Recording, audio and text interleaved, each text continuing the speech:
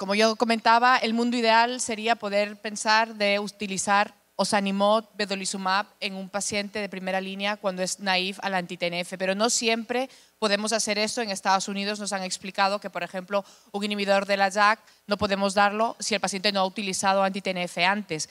Entonces, ah, vamos a intentar hablar con estos casos de en qué escenarios en la colitis ulcerativa podríamos tener vedolizumab en primera línea.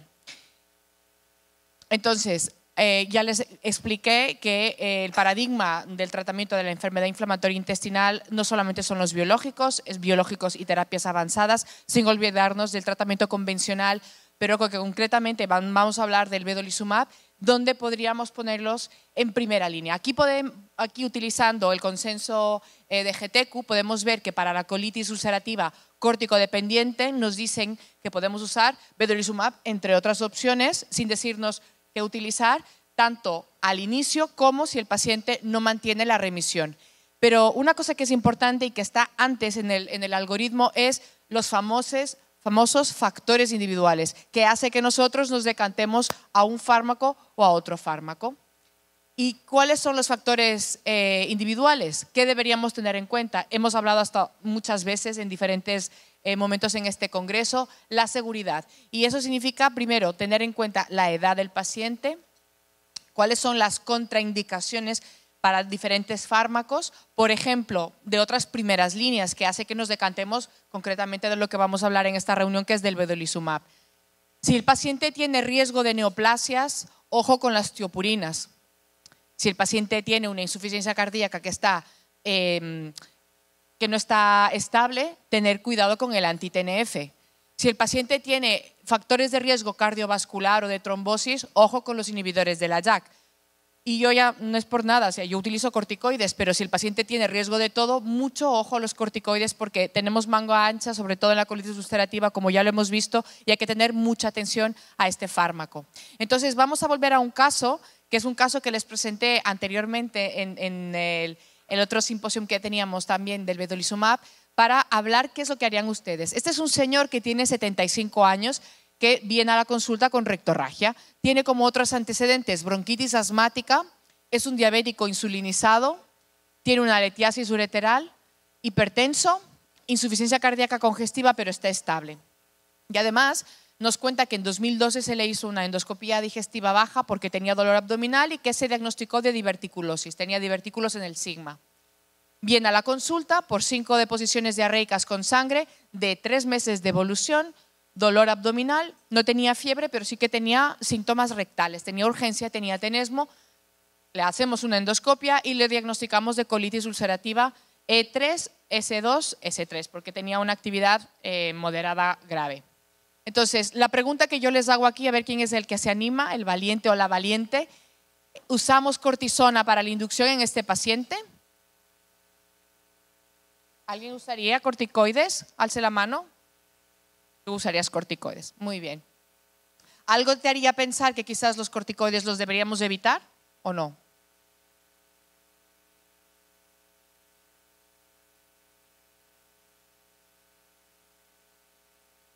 obviamente hay muchas, muchas, eh, muchas eh, comorbilidades que lo hacen a uno eh, dudar si, si usar esteroides para la inducción, pero, pero pues es un brote casi grave. Y, Exacto. Y evaluando riesgo-beneficio, creo que pues yo los usaría. Yo creo que has hecho justamente el comentario clave que es de qué estamos hablando. Es un brote casi grave porque si es un brote grave no tenemos duda usamos corticoides y lo usamos todos. Pero como está entre Pito y Valdemoro y tiene una clínica de tres meses, no fue lo que hicimos, pero eso, es un punto a tener en cuenta. Luego, ¿qué factores personales de este paciente concretamente hemos de tener en cuenta a la hora de seleccionar el tratamiento? ¿Alguien se anima? Comorbilidad, has dicho tú, alguien más, alguna otra cosa? La edad, muy importante. ¿Otra cosa? Concretamente, alguna comorbilidad nos hace pensar que quizás tendríamos que darle otro tratamiento. Sería, otra pregunta, un buen candidato para inducción con tratamiento biológico. Digamos que no está tan grave. Decidimos que no es un brote grave, lo vamos a intentar manejar con un tratamiento biológico. ¿Qué le pondríamos? ¿Y, y cómo lo haríamos? O sea, evidentemente vamos a hablar del vedolizumab, pero podríamos ponerle otro fármaco a este señor, otro biológico. Ustekinumab le podríamos poner y que quizás alguno otro. ¿Alguien le pondría antitenefes? ¿No? No, lo tenemos más, más fácil, hay biosimilares. Exacto, tienes en cuenta la falla cardíaca. Muy bien, eso es lo que tenemos que tenernos en cuenta. Pues primero, decidimos arriesgarnos si es un paciente que luego cuando haces la historia tenía una diabetes de muy difícil control, que cuando oyó la palabra corticoides, como ya ha tenido bronquitis asmática, dijo ni hablar, yo no voy a volver a la insulina a esas dosis, y no usamos cortisona.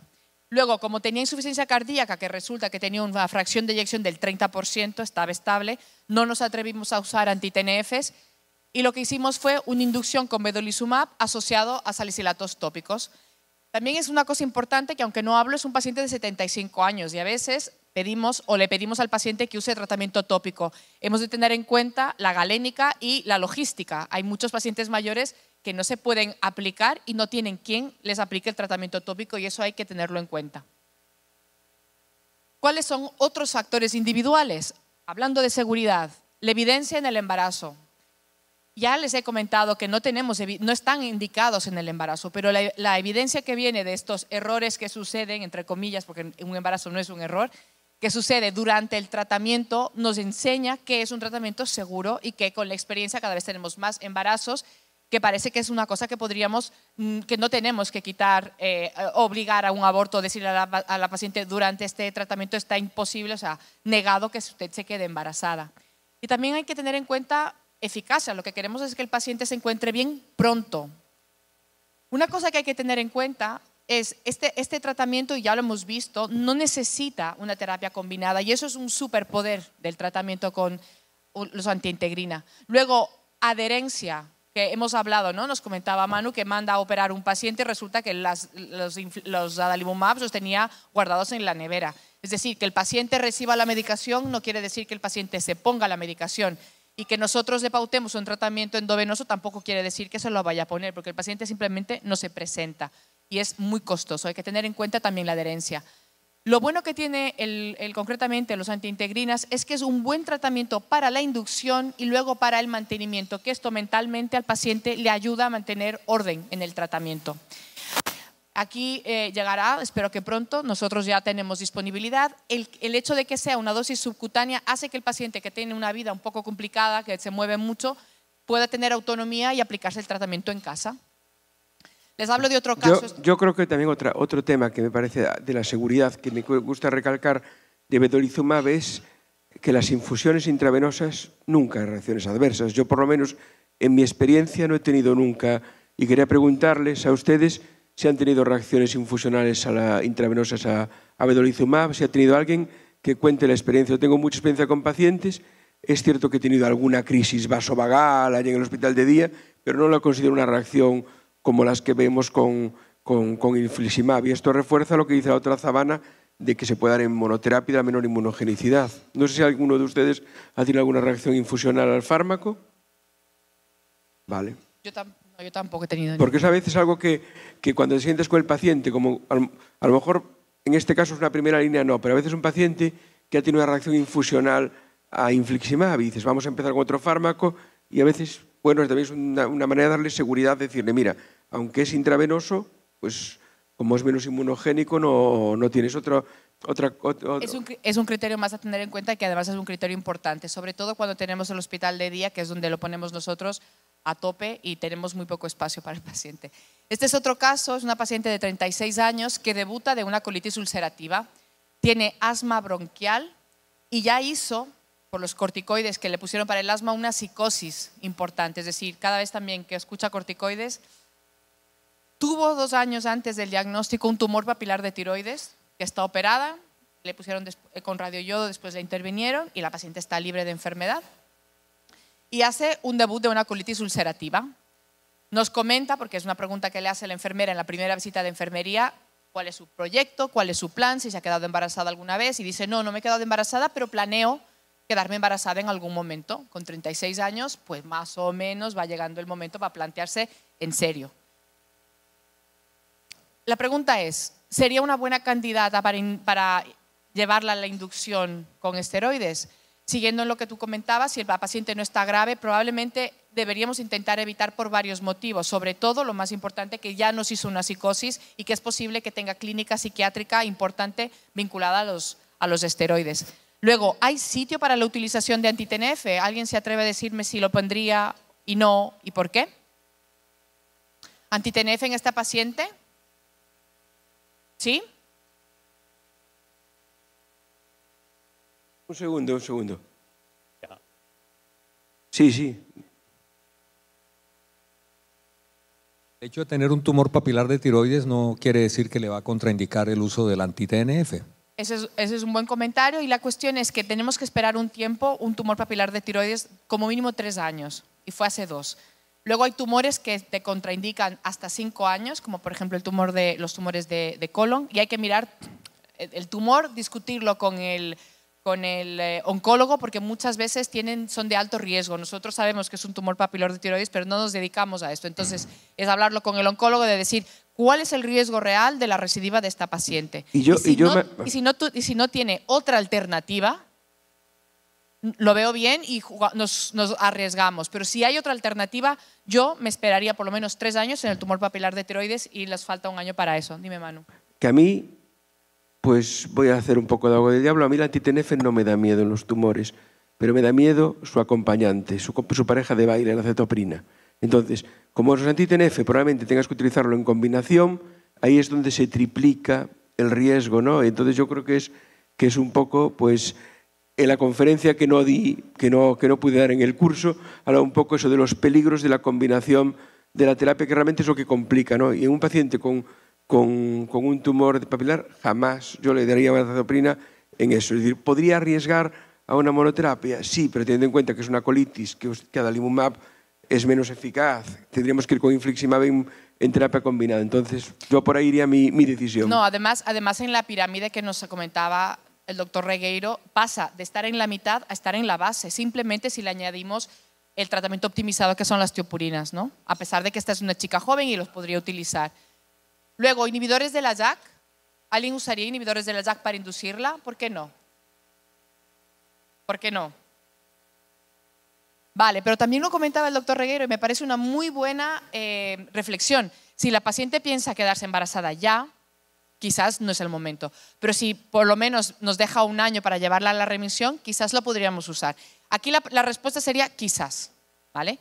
Pero hay que pensar esto, de decir, la paciente pues ahora mismo se plantea ya quedar embarazada, que además, ya lo hablaremos después, con un brote no es el mejor momento quedarse embarazado, la verdad. Este es otro caso de un hombre de 50 años que hace otro debut de la colitis ulcerativa. Este señor, y es muy importante, es un trotamundos. Viaja tres veces al mes y además en, sitios exóticos, viaja un montón, son horas y horas de avión hace un brote grave eh, que es córtico refractario, además tenía CMV positivo en las biopsias. Le inducimos con ciclosporina porque eh, está en un hospital que tiene trasplante renal y tiene mucha experiencia en la ciclosporina y por lo que sea se decide ciclosporina y responde. ¿Qué le pongo de mantenimiento a este paciente? ¿Tú qué le pondrías, Manu? Pues trotamundos, no, no tal, pues Vale, pero yo en este caso sí que el vedolizumab iría mejor al subcutáneo, ¿no? Porque más que por el intravenoso, digo porque una opción sería eso o bueno, pues a otras una opción subcutánea claramente, ¿no? Porque porque no va a venir al hospital de día. Esa es una de las cosas que estamos viendo como una línea, una primera línea de vedolizumab muy interesante que es la inducción con ciclosporina o incluso con infliximab y el mantenimiento después con vedolizumab. Interesante es lo que dice Manu. Hacemos una inducción, que yo también soy clásica, hago las tres dosis eh, de vedolizumab. Ah, hay gente que incluso hace una cuarta y luego ponemos el subcutáneo. Entonces, el subcutáneo le permite al paciente tener autonomía. Volvemos a mirar aquí, ¿dónde podríamos poner el, paciente el vedolizumab en primera línea? Pues en una eh, colitis ulcerosa que ha tenido la inducción, que ha respondido a la inducción con ciclosporina, vedolizumab de primera línea. Mujer de 60 años que le hemos hecho una proctocolectomía, es decir, por lo que sea, la colitis tuvo que operarse. Además, en el brote de debut. Y tiene pánico a la inmunosupresión. Por lo, porque por lo que fuera, la paciente no le respondió bien, fue una desgracia tras otra y al final a la paciente acabamos sacándole el colon. Y la cuestión es que hace una pauchitis y es refractaria. Manu nos comentó y en el consenso de GTQ está claramente que tenemos que dar ciclos de, este, ciclos de antibióticos, la paciente responde regular, vuelve a tener inflamación, no nos responde al tratamiento tópico, no nos responde a los esteroides y tenemos que hacer algo. La paciente tiene lo que se considera una pouchitis refractaria y tiene pánico a la inmunosupresión y nos pide, además es una persona que es una profesora retirada, una persona que cada vez tenemos más pacientes así, que nos están ya hablando de dime lo más efectivo y quiero que me digas por qué. Frente a qué estamos comparando y quieren más el fármaco más efectivo y más seguro, porque es una persona que tiene mucho miedo a los efectos secundarios de la medicación.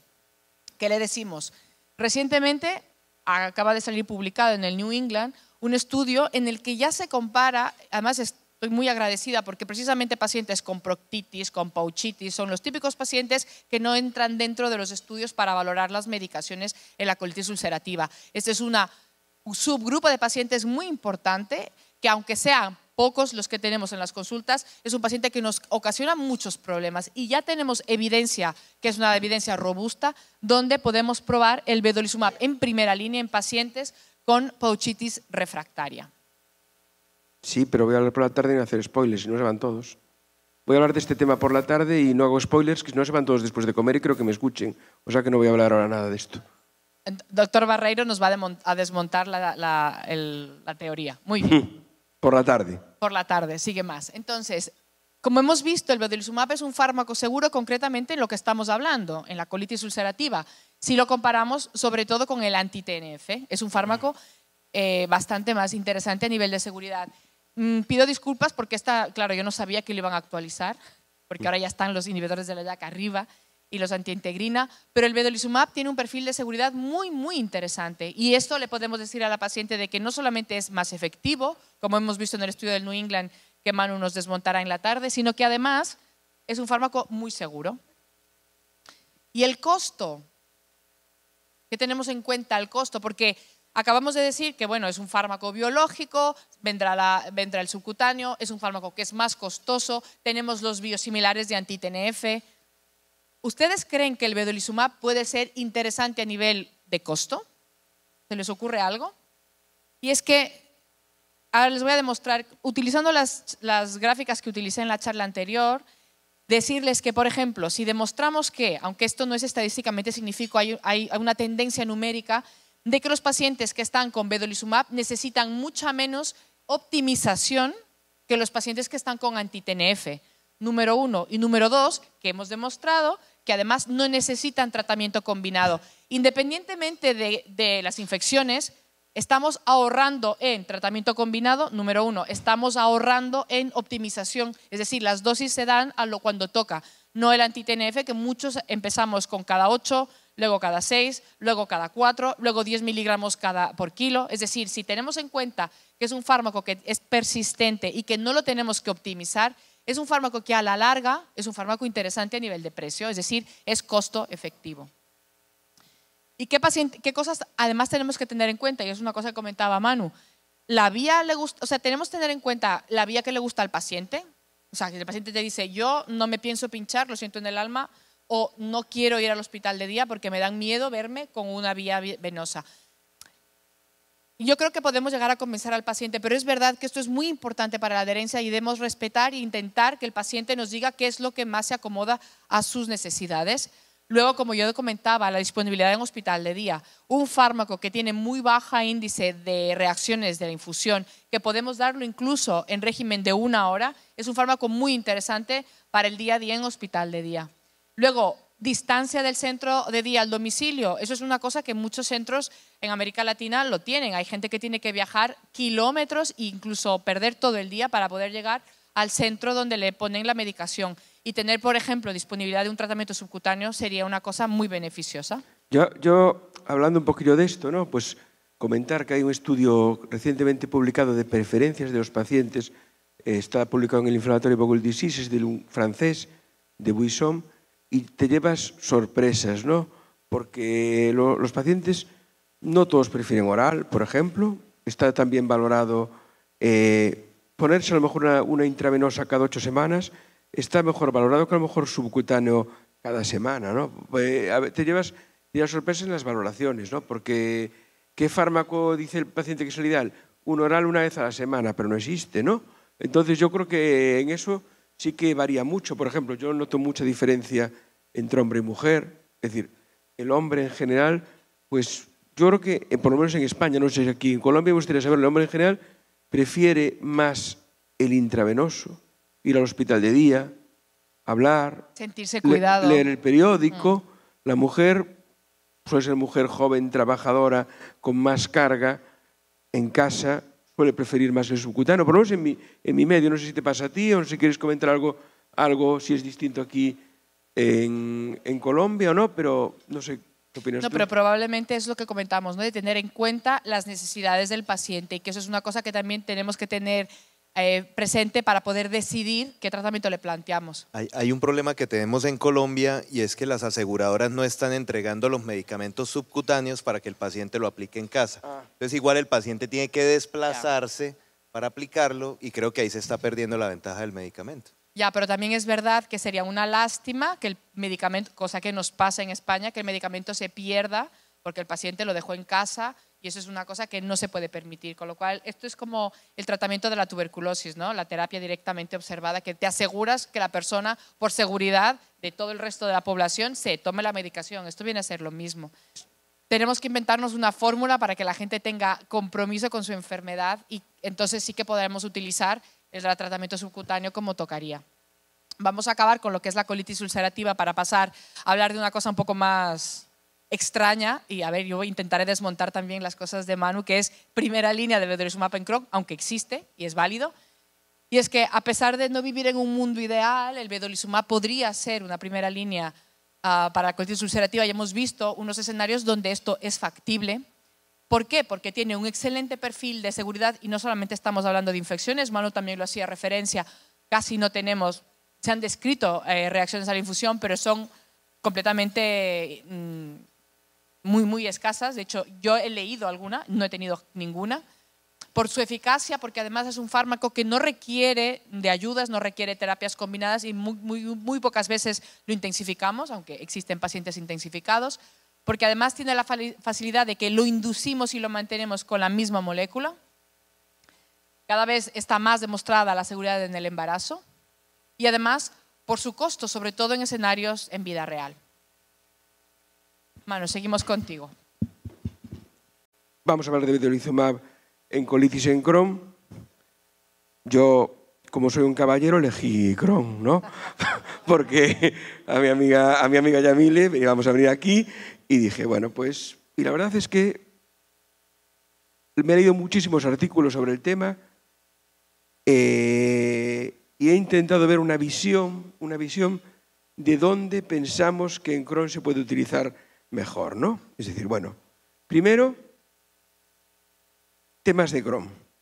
En Crohn se utiliza más y antes el biológico en colitis, no hay ninguna duda, ¿no?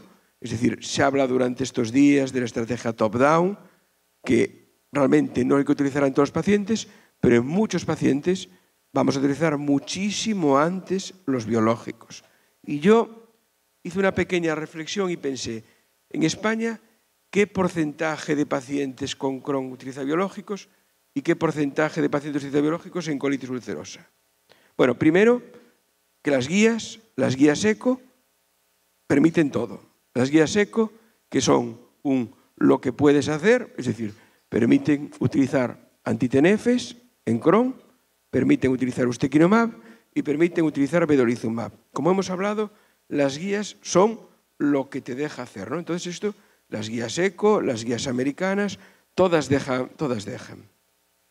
Y me fui a este estudio de Neida, que es un estudio que ahora mismo está respondiéndose en, JCC, pero va a ser aprobado, que es un estudio de género. Es un estudio liderado por el doctor Gomollón, que es un estudio de género. ¿Y qué nos viene a decir? Bueno, pues de todos nuestros pacientes que tenemos en Eneida, el 35% usan biológico. Pero en el Crohn, el 50%. No hay diferencias entre hombres y mujeres, ¿no? Es decir, aquí no hay diferencia entre mujeres. Pero lo que quiero decir es que uno de cada dos pacientes españoles con Crohn está con biológico. Y en colitis el porcentaje, como ven, es menor. Entonces, por lo tanto, volvemos a la pregunta, ¿cuándo utilizar vedolizumab en primera línea? Pues tenemos que buscar el escenario. Y en Crohn probablemente hay muchos más pacientes que vayan a requerir biológico porque no tenemos los aminohidratos y tenemos más. Entonces, bueno, pues yo me planteo aquí mmm, en qué espacio temporal lo voy a encontrar y yo creo que hay dos muy claras. A ver, el tiempo de evolución de la enfermedad y en pacientes naif. En pacientes en primera línea es donde realmente hay mucha más evidencia de que vedolizumab funciona mejor. Es decir, y os voy a mostrar un poquillo, voy a ir ya a los estudios Gemini, a los primeros estudios que hay con vedolizumab, donde claramente en enfermedad de Crohn los datos de remisión clínica y de respuesta eran muy superiores en los pacientes naif que en los pacientes anti-TNF. Entonces, bueno, pues cuando se usa previamente con anti-TNF, peor. Cuando se usa en naif, mucho mejor, ¿no? Entonces yo creo que ya tenemos algún, algún dato que me va a decir, pero esto lo sabemos. Bueno, pero hay que recordarlo, ¿no? En paciente naif es una oportunidad para usarlo, para usarlo. ¿Por qué? Porque si se usan solo. Una pregunta antes de que sigas. ¿Aquí se puede utilizar en naif, en Crohn, vedolizumab? Vale, si se puede, pu- puede seguir. Perfecto. Perdona, ¿eh? Bien, bien, bien. Más estudios. El estudio Versifi, que es un estudio del que se ha hablado, que lo hay también en, en Crohn, en colitis, también otro que demostró cómo la eficacia es muy superior, tanto en remisión clínica como en curación mucosa completa, que sabemos que en Crohn es mucho más difícil lograr la curación con la remisión endoscópica, es decir, un SST de mejora- menor a 4, pues de nuevo mucho más eficaz utilizar vedolizumab en primera línea que en líneas más avanzadas. Y este es un estudio que me parece tremendamente interesante porque es un estudio multicéntrico europeo liderado por los israelitas, por Urico Pilov, en el que son pacientes, los primeros pacientes, digamos, casi en Europa que se trataron naif, ¿no? Porque, bueno, pues algunos sí que eran contraindicaciones anti-TNF, otros eran en algún país que se permitía, ¿no? Como en, Alemania, que era más, que era más fácil, en, en el propio Israel. Y, la verdad, los resultados de remisión clínica del 67%, es decir, y de, y de remisión sin corticoides del 60%, es decir, muy superiores incluso a los que se han visto en los ensayos clínicos pivotales. ¿no? Por lo tanto, bueno, pues tenemos datos y otro dato que es interesante. Igual en Crohn que en colitis ulcerosa, ulcerativa, igual, igual o incluso numéricamente mejor, ¿no? Por eso este estudio me parece importante recuperarlo porque viene un poco a decirnos lo que estoy, lo que estoy comentando. Y después, claro, en la vida real también hay otros estudios, ¿no? El consorcio Vitoria. Voy a hablar mucho del consorcio, del Vitoria, que es un consorcio americano del que voy a hablar, que es un estudio que es un consorcio retrospectivo. Bueno, pues esta es la primera, la primera publicación. ¿Y qué ven en este consorcio? ¿Cuáles son los factores de mal pronóstico? Es decir, ¿dónde probablemente sea peor dar vedolizumab en primera línea? En enfermedad perianal, es decir, en fumadores, en los muy graves y de nuevo en los que previamente han llevado anti-TNF. Entonces, yo creo que ahí, pues probablemente sea donde no esté tan indicado darlo. darlo. Y después también, bueno, pues tenemos este datos, este es un estudio, no me gusta el nombre, el Bedo IBD no me gusta el nombre porque es un poco, bueno, ponle otro nombre al registro, pero Bedo, Bedo no, no- no me acaba de convencer el nombre porque sinceramente es un estudio alemán de seguimiento en uno y después en dos años, pero lo que nos viene a decir es, bueno, pues pacientes naifa biológicos en Crohn que, reciben o bien anti-TNF o bien vedolizumab. Bueno, pues es un registro, eh, bueno, pues en principio hacen un seguimiento observacional, prospectivo, y vamos a ver los resultados primero a un año, que fueron presentados en la ECO, y a dos años, que está recientemente publicado, donde realmente, en comparación con, con, los, con los otros TNF queda muy bien. Estos son los resultados que se presentaron en la ECO el año pasado a un año. Persistencia. La persistencia a un año vemos que es del 94% en los pacientes naif tratados con vedolizumab, en Crohn, ¿eh? En Crohn. Y comparado con un 78 y un 75 con, con fármacos tan buenos para el Crohn como son infliximab y adalimumab. Pero quizá me quedo con este dato. Los que empezaron con vedolizumab, solamente el 5% cambió a otro biológico, mientras que empezaron con anti-TNF, no sabemos si la inmunogenicidad o la clave, pues el 22% precisaron cambiar a otro fármaco. Y después, bueno, pues datos, es decir, en cuanto a eficacia global, pues hablamos de un 76% de respuesta clínica en la semana 52, comparado con un 63%, ¿no? significativamente superior Vedolizumab con adalimumab y no alcanza la significación con infliximab. ¿no? Bueno, yo no sé si está calculado el tamaño muestral para uno o para otro, porque esto es lo que se ha publicado a, ya digo, a un año, que está referido, referido a los congresos, pero bueno, yo creo que viene un poco a, a, corro, a corroborarlo, pero bueno, ya vemos aquí los datos de, de remisión clínica. Entonces, este estudio alemán me parece realmente interesante. Pero, como digo, se ha publicado ahora, recientemente, no se ve ahí la, un poco tal, pero bueno, así que se ve ahí la, la cita, ¿no? Resultados a dos años. Miren las gráficas. Remisión clínica y remisión libre de esteroides significativamente más alta en pacientes naif de vedolizumab con anti-TNF. Esta gráfica realmente es muy, muy clara. Es decir, tasas de remisión clínica del 64 comparado con el 44, del 62 con el 41, ¿no? Es decir, bueno, pues realmente esto es muy, muy, muy, muy claro. Podemos discutir, y a lo mejor podemos discutir después, que a lo mejor el sesgo del investigador, voy a poner un, un más leve, ¿no? O más moderado, pero bueno, probablemente los datos son espectaculares. Y bueno, y volvemos a, a la persistencia del tratamiento, ¿no? De nuevo, vemos como la persistencia, ¿me pueden dar un agua? un agua. La persistencia a dos años es mucho, digamos que la curva es mucho más horizontal con vedolizumab que con antitenef. Estas curvas, de las que he hablado en algunas ocasiones, yo también les, les echo mucha culpa a la inmunogenicidad, ¿no? porque yo creo que la pérdida de respuesta a los anticuerpos hacen que, bueno, pues que, esto, que, que, que fármacos como vedolizumab mantengan mejor la remisión a largo plazo que los antitenés.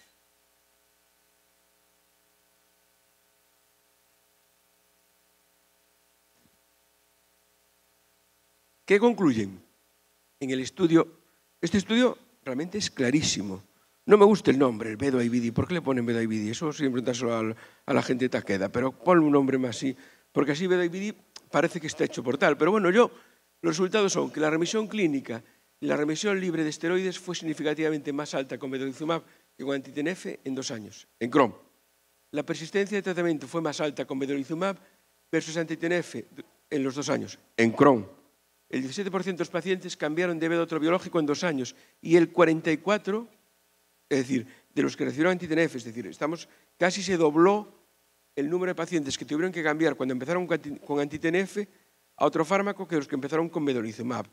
Esto es un poco, bueno, pues esto es lo que estamos un poco hablando, es decir, en un paciente naif menos grave, sabemos que para el paciente es muy estresante pensar en cambiar de fármaco pronto, porque una vez que alcanza la remisión, la pérdida de respuesta a la que hemos hablado estos días es algo muy clave. ¿no? En cambio, pues vemos esto con vedolizumab, que mantiene la, mantiene la remisión a más a medio y largo plazo. ¿Qué es el Crohn temprano? ¿Qué es el Crohn temprano, Yamile?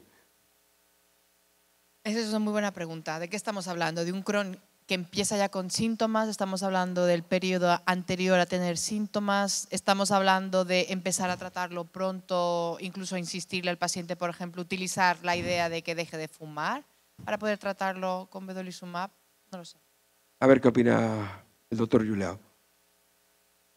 Según la, recomendación del grupo del IOIBD, eh, se dice que Crohn temprano es aquel que, que tiene eh, hasta 18 meses después del diagnóstico, ¿no? Sí, pero esto es arbitrario.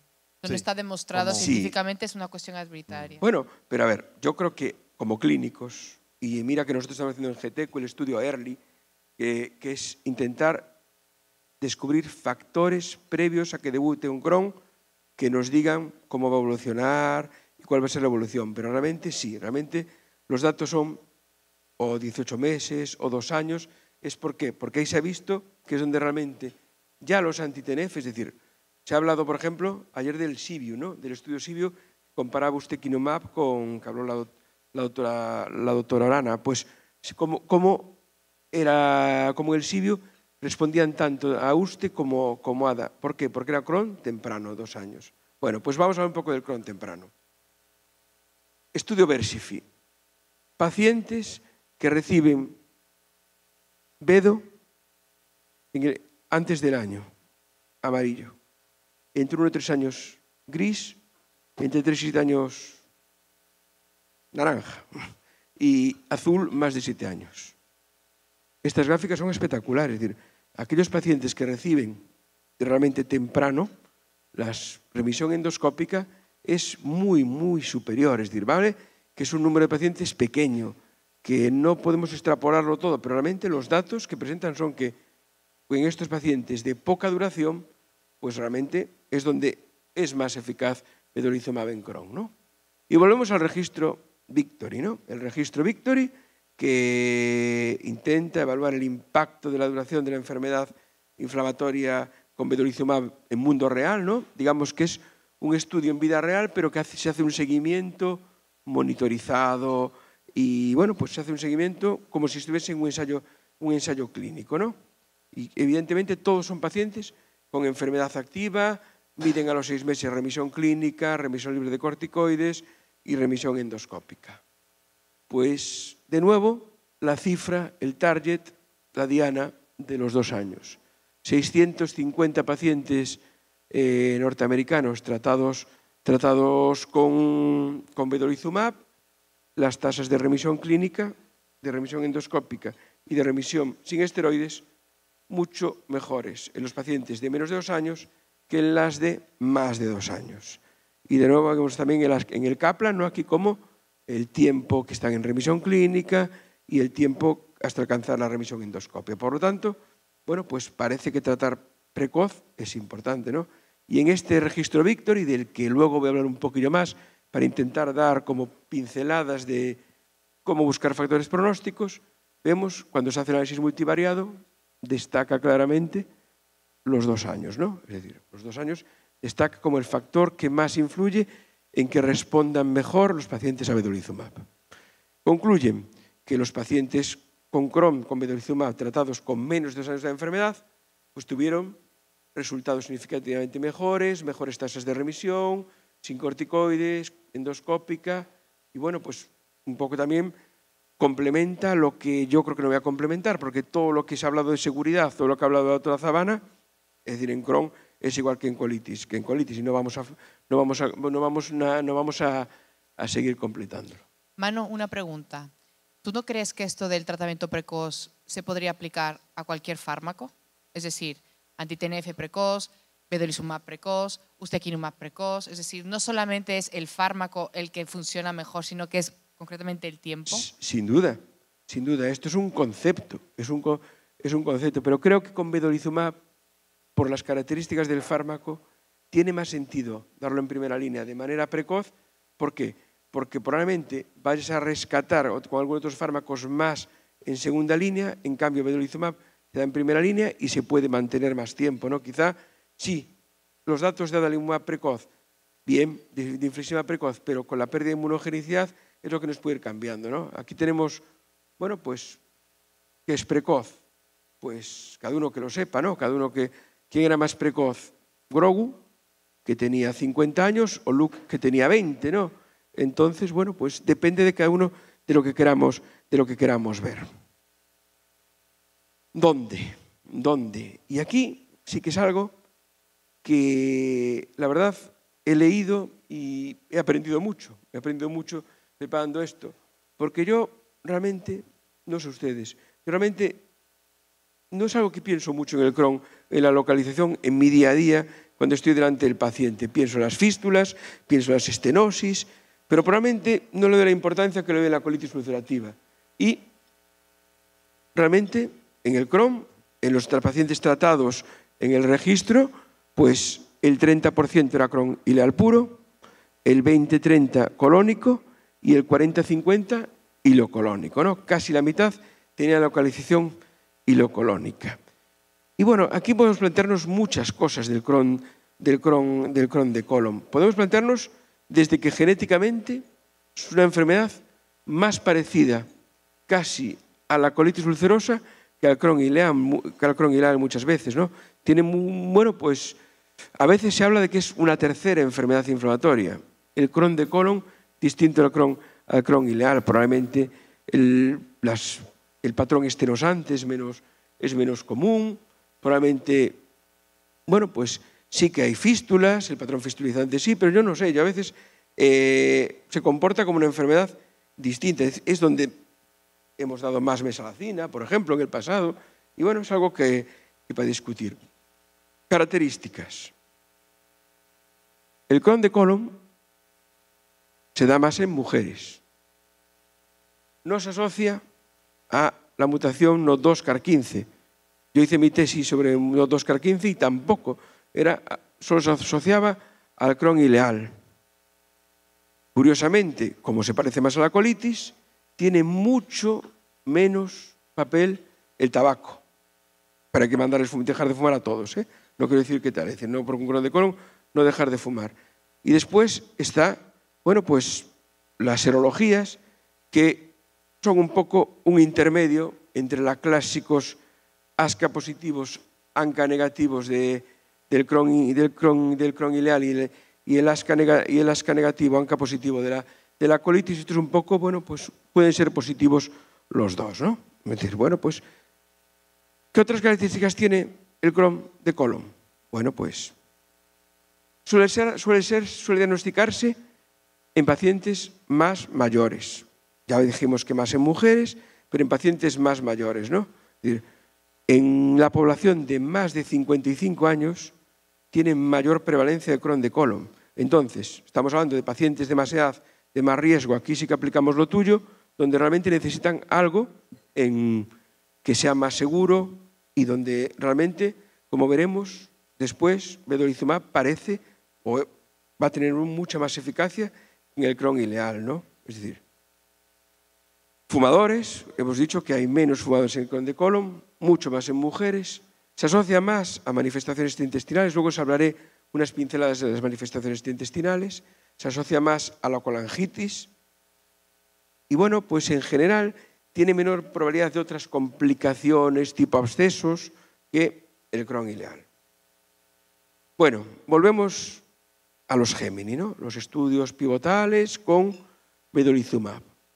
Bueno, pues vemos las tasas de respuesta clínica, de remisión clínica, tanto con vedolizumab a dosis normal como con vedolizumab a dosis, a dosis intensificada, y de nuevo, tasas mucho más altas en colónico, en ileocolónico, que en ileal. Es decir, vemos que probablemente en el paciente con Crohn de colon sea el target perfecto o hilocolónico para vedolizumab.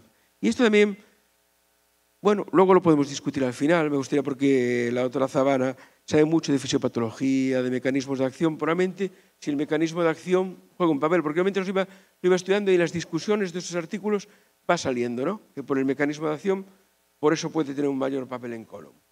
Vete pensándolo para después. Voy, voy pensando.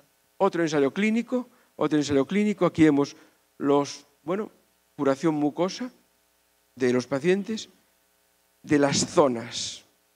¿Y dónde más cura la mucosa? Colon transverso, colon ascendente, rectosima. ¿Y dónde menos cura la mucosa? En el ilium.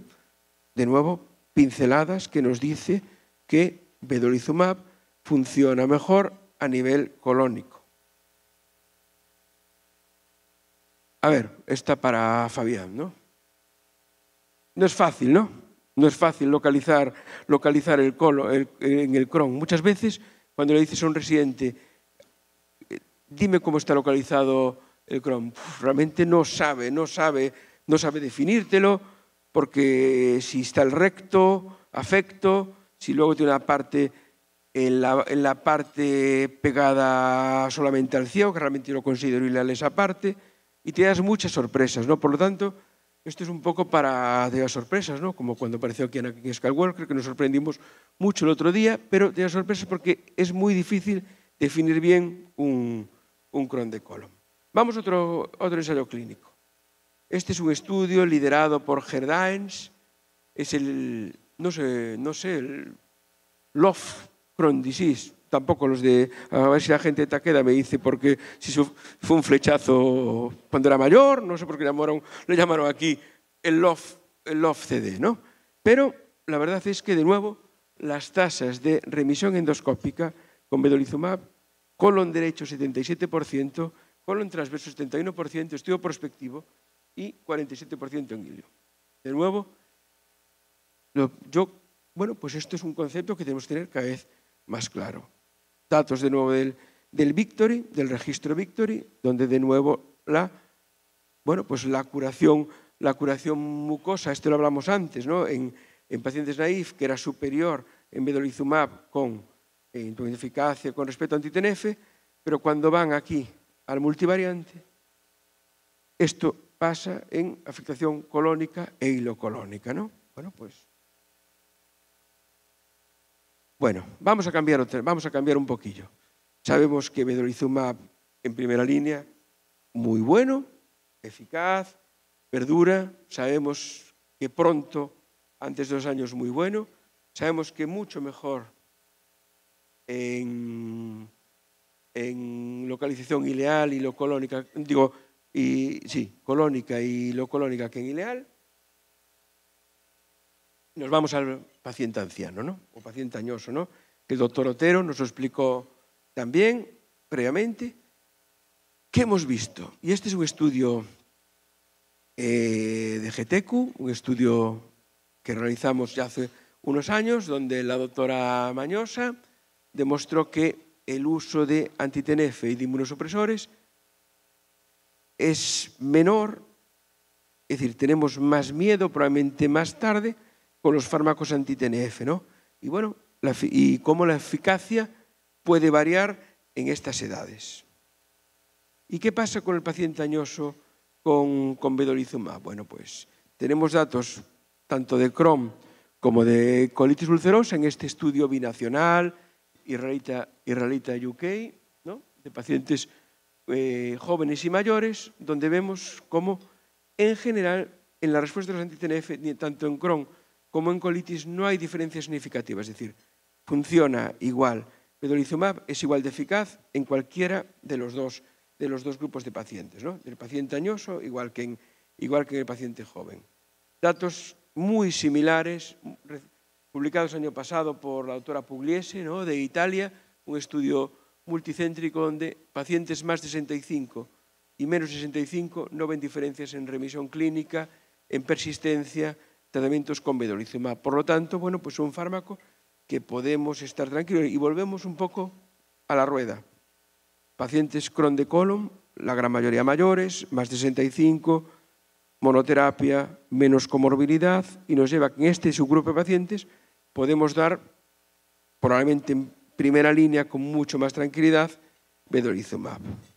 La cuestión es, ¿qué es un paciente mayor? Se habló de la fragilidad, se habló de... Aquí os voy a presentar a dos pacientes mayores, ¿no? A dos pacientes mayores, esto es otro caso clínico, ¿no? Mira, os voy a presentar a dos pacientes de distintas edades. Tenemos a Yoda, ¿no? Que tiene 890 años, y tenemos a Obi-Wan, que tiene 65 años. Es decir, cualquiera de ellos son pacientes mayores. Pero lo que, lo que quiero decir con eso es que tenemos que ver la edad no solo, no solo física, sino también la edad relacionada con la fragilidad y las comorbilidades. Las comorbilidades son clave. Bueno, estas son unas recomendaciones de varios países, estudios de varios países donde se ve claramente que los pacientes con muchas comorbilidades, y están de todo tipo, desde infecciones crónicas, neoplasias, enfermedades desmilizantes, insuficiencia cardíaca y edad incluida, pues, bueno, pues es donde menos se deben prescribir los anti-TNF y donde vedolizumab puede jugar mucho papel. Y vamos a, hablar, de otra comorbilidad mucho más eh, polémica, porque se ha hablado, se habló, habló la doctora Parra el otro día de de vedolizumab en manifestaciones extraintestinales. Y quiero presentaros este último estudio recién publicado. Es un estudio de pacientes con enfermedad inflamatoria, tratamiento con vedolizumab.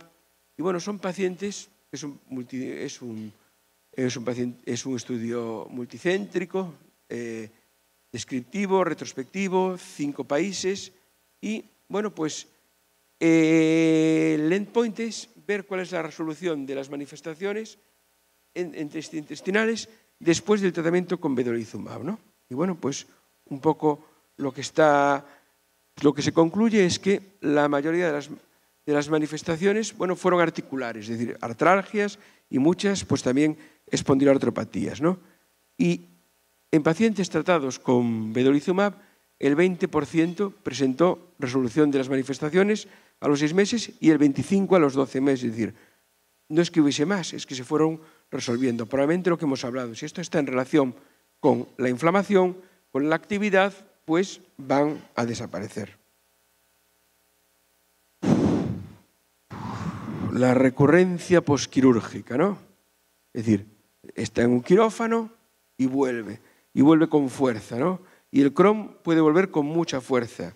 El doctor Reguero lo ha comentado esta mañana, como la importancia de tratar pronto la recurrencia posquirúrgica. Y yo aquí quiero hablaros del estudio reprevio que está bueno, presentado en la ECO de este año, que es un ensayo clínico que evalúa la eficacia de veloizumab en la prevención de la recurrencia, es decir, los pacientes incluidos son con resección ilocecal, con más o igual a un factor de riesgo, que son ser fumadores, más de una resección, cirugía complicada, exposición previa a antitenefe y se analizó la recurrencia endoscópica según el índice de Ruggiers y bueno, pues esto es un poco lo que se vio, es un, ensayo clínico comparado con placebo de vedolizumab, ¿no? Es decir, un ensayo muy bien, muy bien, muy bien diseñado, ¿no? Muy, un poco en paralelo al, a su primer estudio que realizó el doctor Regueiro con, con infliximab. Bueno, pues 80 randomizados, 43 vedo que se ve mal, 37,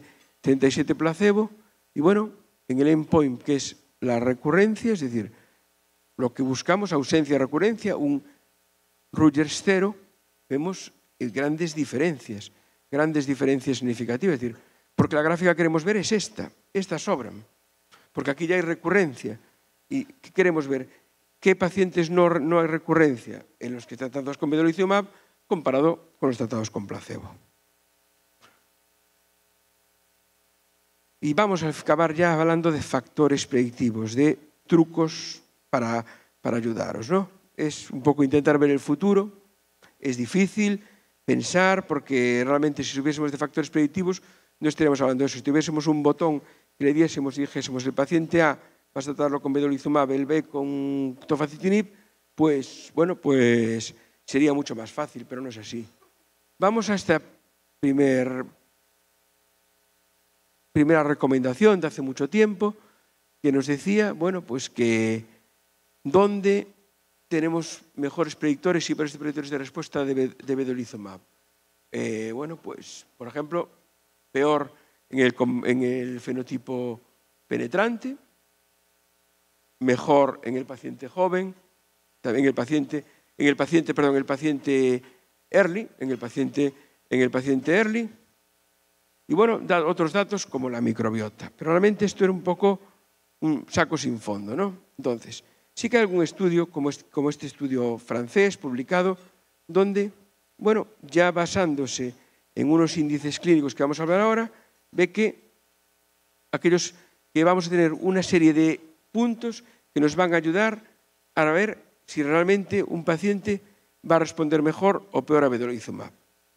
Eh, de nuevo, el registro Victoria. ¿Qué, factores tenemos que tener en cuenta? Bueno, pues esto es un puntaje que se basa en paciente que no ha sido operado previamente, le damos dos puntos. Paciente naif antitenefe, tres puntos. Paciente sin enfermedad fistulizante, dos puntos. Y después, según valores de la albúmina y de la PCR, es decir, con dos análisis, y se vio que, bueno, pues aquellos pacientes que tenían menos de 13 puntos iban a tener poca probabilidad de responder a vedolizumab en Crohn, en cambio los que tenían más de 19 puntos, iba a tener una alta posibilidad de respuesta. Pero incluso vamos a ver cómo lo que se vio es que los pacientes entre 13 y 19 según más se acercaban a 19, iban a tener más posibilidades de respuesta.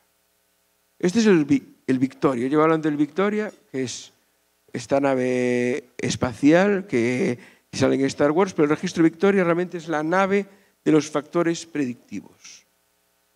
Crearon este modelo, ¿no? Son, primero utilizaron los pacientes, lo, lo validaron en el Gemini y después en el registro Victoria. Entonces, la idea es, bueno, pues tener todos estos factores y ver si realmente influye. Bueno, pues se vio que un valor de 13 puntos tuvo una alta sensibilidad para identificar pacientes que respondan a vedolizumab. 13 o más puntos se va a asociar una sensibilidad muy alta de remisión clínica, 92%, de remisión sin corticoides, 94%, y de remisión profunda eh, sin corticoides. Utilizando estos predictores comunes que os he comentado, no cirugía, dos puntos, no exposición previa anti-TNF, tres puntos, no, no enfermedad fistulizante y datos del albúmina y de la PCR. Bueno, pues extrapolaron en baja posibilidad de respuesta 13 puntos, posibilidad intermedia 13 a 19 y alta probabilidad de respuesta 19 puntos. Y estarán preguntando, pero esto es una teoría. ¿Lo han aplicado? Pues sí, se ha aplicado y se ha visto aquí, ¿no? Que cómo la proporción de pacientes que, que lograron resultados en la semana 26, según se llama CDST, esta formulación, pues ya lo vemos. Es decir, aquellos que tenían alta, más de 19 puntos, las tasas de remisión clínica eran claramente superiores, la remisión sin corticoides, curación mucosa, remisión profunda. ¿no? Es decir, por lo tanto, bueno, pues teniendo en cuenta todos estos factores en, en pacientes con Crohn, podemos, bueno, pues saber si nos va a responder o no un paciente. ¿no? Y aquí vemos también después cómo se ha visto cómo lo que les contaba, no todo es blanco ni negro, si un paciente nos tiene 16, 17, pues sabemos que va a tener, bueno, pues más o menos opciones, eh, pero en general lo que tenemos que ver es que un paciente con menos de 13 pues va a tener muchas menos opciones de responder a vedolizumab un paciente, un paciente naif. Y yo creo que vamos ya a reflexionar, ¿no? Me pongo en la piel de, de Obi-Wan Kenobi, ¿no? Que es el mejor Jedi de todos, ¿o no? ¿No? La peor serie, pero el mejor Jedi. Y mmm, me pongo yo, siempre me gusta ponerme en su papel, me pongo aquí, intentar imitarlo y pienso. ¿Dónde creo que Vedolizumab aporta más en Chrome? Pues localización colónica y locolónica, L2, L3, claramente. Patrón inflamatorio, B1, es decir, porque si en patrón fistulizante peor, en B1 y en B2 hemos visto que los, que los biológicos funcionan peor. Menor tiempo de evolución, menos de dos años, ¿no? Antitenef naif, evidentemente, paciente, eh, un paciente que no ha sido tratado. Probablemente en un paciente con menor inflamación crónica, ¿no? con menos úlceras profundas. En un paciente con anciano o con comorbilidades, yo creo que claramente. Y recordar eso, que una vez que se da, tiene mayor persistencia que antitenef en primera línea. Y bueno, aunque se ha discutido, es eficaz en MEIS, sobre todo en aquellas que están relacionados con la, con la actividad. Y nada más, si tiene buenos factores predictivos, nos ayuda, ¿no? Y nada más, simplemente, pues esto nos ha servido para buscar sitios, nichos, y ahora me gustaría discutir un poquillo sobre el tema, ¿no? Muchas gracias.